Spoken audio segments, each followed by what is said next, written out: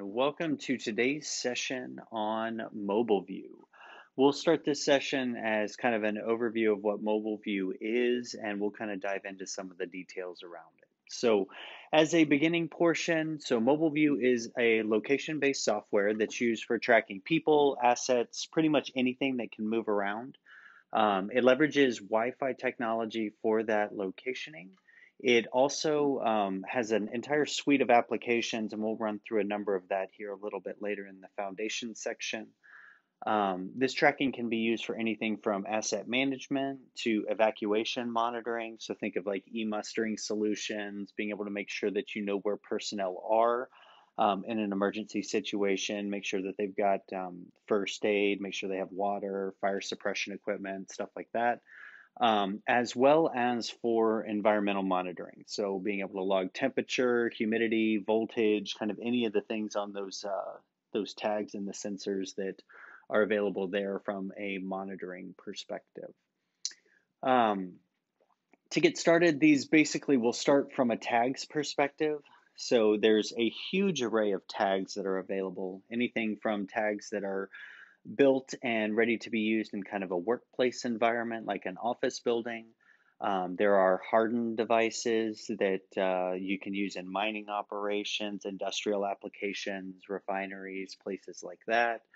Um, there are tags that uh, that also have additional sensors like humidity and temperature, and there are also um, embedded tags, and that's like this T3i that you see down here. And those you can actually put into hard hats as an example, or you can build them into just about any device um, to be able to incorporate uh, tagging and locationing.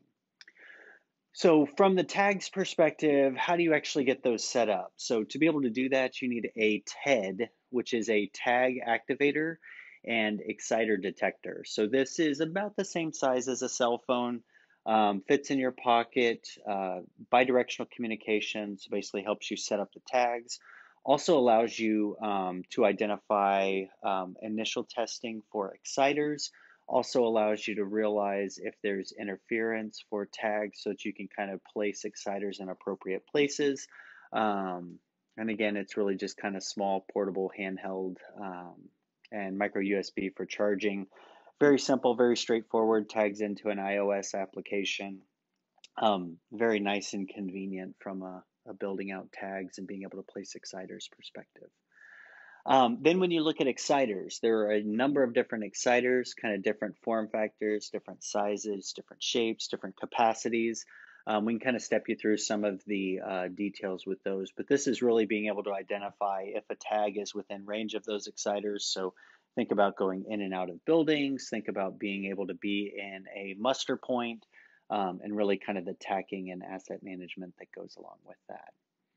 So now let's dive into how the tags actually work. So how does how does it actually figure out where a tag is and how do you know where that tag is in an environment? So we'll go ahead and look at this one. This is uh, you can see the schematic there. So again, you've got an AP that's about five meters away, um, another AP that's showing from an RSSI value that it's about 20 meters away, and then you've got a third one that shows about 10 meters away. So when you think about this, you'll actually see it's basically building arcs. And then when there's when those arcs intersect, that's actually how um, you identify where that physical tag is. So you'll see one at five, one at 20, and then there's another arc there at 10, and that tells you where the actual tag posi position is. Next, so foundation, how does this all come together? So the RSSI values come in from the tags to the access point. Um, those then are deposited with the positioning server, engine manager software, and those communicate into the gateways as well. From the gateways, then you get um, alerts in addition. So again, like instant notifier, HTTP post, um, all stored in a SQL database. And then also there is a SOAP-based API that'll allow integration into third-party applications. And that's really kind of a key point, and we'll actually dive into um, that SOAP integration here in an up, upcoming episode. Um, it is a little bit of an older technology from an API perspective, but it does give you a tremendous amount of, um, of access to different data points really allows MobileView not only to be used for asset management, but also as a middleware platform so that you can kind of build out different solutions based on that. And then um, again, we'll have another deep dive there. And if you all have any questions, please feel free to reach out to us. We'll have our contact information up here. And uh, thank you again for joining.